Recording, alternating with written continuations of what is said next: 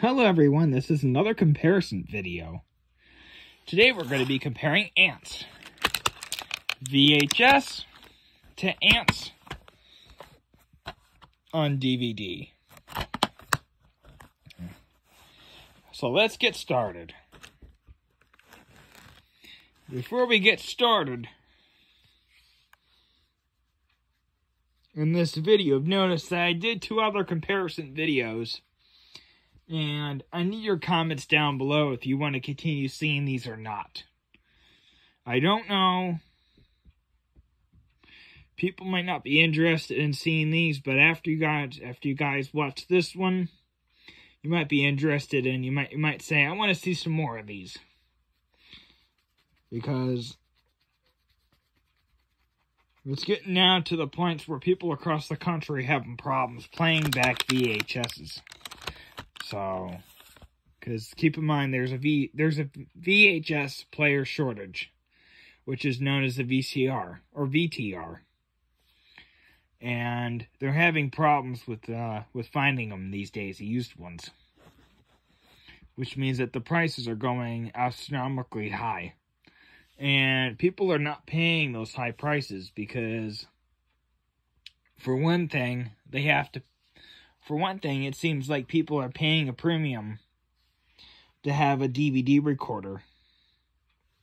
So, but however, most of the times you buy used DVD recorders and they work for like, you can get like three or four years out of them and then they quit working. I saw, I saw somebody about four, about four or five months ago, I saw somebody buy one they paid thir- they paid like $35 for it. And they got like they got like 4 months out of it. Come on, guys. If you know your DVD recorder's been played and used a lot, don't try to push that on somebody else. But that's what I've noticed though. So let's get into this though. DVD players, they still making those, so we should be able to play this one back, no problems asked. That's the thing I forgot to make in the other comparison videos. How you going to be able to still be playing them or not? So VHS is question 20 years from now is going to be questioned. DVD in 20 years from now won't be questioned because they still making those players. So, however, so you can see here on the VHS, there's PDI, the company that produces the cleaning products. They must have worked on this film. The PDI Santa cloth, the bleach wipes. The wipes that they use in hospitals. The, the purple tops or the orange tops, as they call them nowadays. So, mm. Antz. Every ant has his day. As you can see here on the DVD, it is not listed on the front. So the VHS looks like it might be better after all. See how he's kind of like that? They changed the artwork to show them looking like that. And then there's a B up at the top. For some reason, there's no B on the VHS. So I'm not understanding why. And then, of course, on the side, the DVD is like that. You got the little hooligan up there fishing away. You know what they say. You can find, um, there's always more in the pond uh, to get. You can see the catalog numbers 84199, 83668, different catalog numbers. There's the two, two thumbs up, which I don't know why they say that. Very smart and very funny. It's almost like the Magnavox slogan, very smart.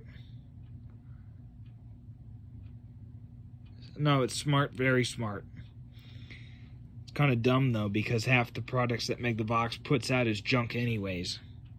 So there's the PDI logo all the way down at the bottom of the bottom of the back of the DVD. This happens to be a 2002 release copy, so I know this film came out really a long time ago, so it came out in 1998 or 99. I have a feeling it was a 1999 year. It's the year I was born, though, unfortunately. So, As you can see here, believe it or not, the ISBN numbers are almost the same. If they weren't for the last three digits, they would be identical. So that's how that's how DreamWorks has their has their stuff running. Very close. So there you go. You got the same got the same wording, same font. As you can see, they're in the same picture frame. I rarely do that though. As you can see, they use some of the same artwork. The B was on the front, if you don't remember, on the front here of the DVD. So, and then you got the special features which are non-existent on the VHS. Two thumbs up is all the way down there at the bottom of the VHS, so everything's different. You would think that they were, you know, releases on two different platforms, you think they'd be released at the same time period. They'd have the same, they look, both of them would look the same, but apparently not. You can see here on the DV, VHS, they got one proof of picture sticker. DVD's got two. And we're going to look at the DVD inside the case. So there's nothing in here to send in the mail. I don't know why they would need two proof of purchase stickers. I don't know why they would need that. There's nothing in here. And by the way, I did buy this used. You would think that the past person that owned this, originally bought this, you think they would have left all the stuff in here. If they weren't going to use it. So, considering that there is no sticker taken off there, I'm assuming that they just took that stuff and threw it away, which really is bad for the environment. They could have just left it in there. Now, for example, a VHS, unlike a DVD, actually has a print date, and it says full frame. December 7th of 1998, which would make this a really early pressing if you were collecting 1998 movies. So, it's a really early pressing, and by the way, I apologize for the clamshell case being in such horrible shape. The people that own this for me, I, this is a used copy. I never... Keep in mind, I wasn't alive when these movies were coming out, so especially the um, Dogma or the other movie I I'm planning on showing in the future. I wasn't alive when that movie came out, but keep in mind my family was really poor. We only had VHSs. We didn't get our first DVD player until like 2003, the late part of 2003.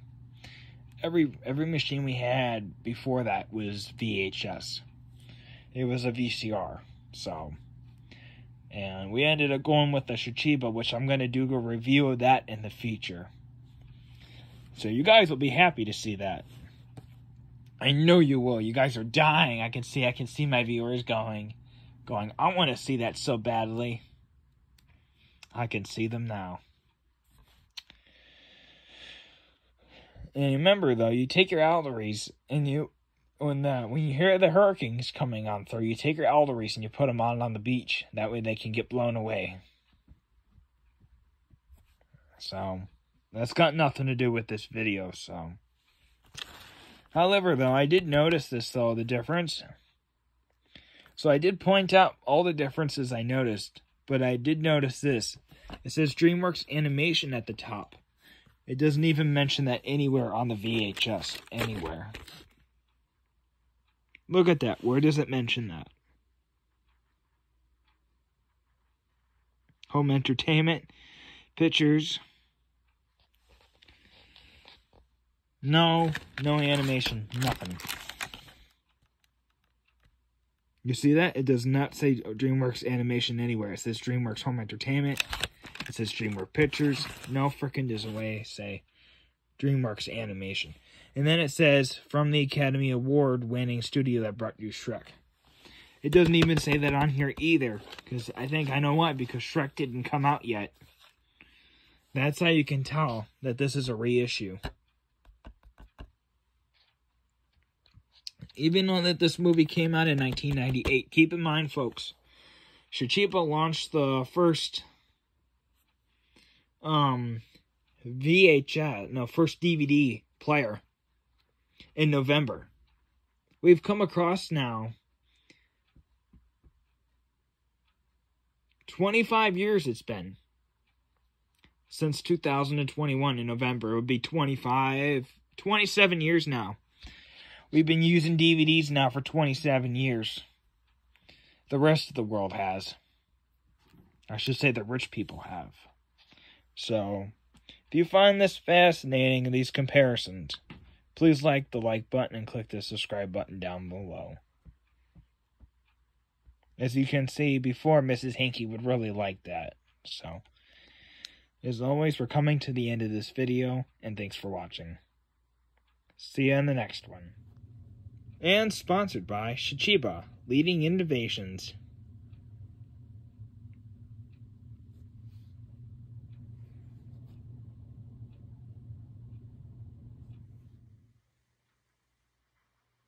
Super Saturn Productions.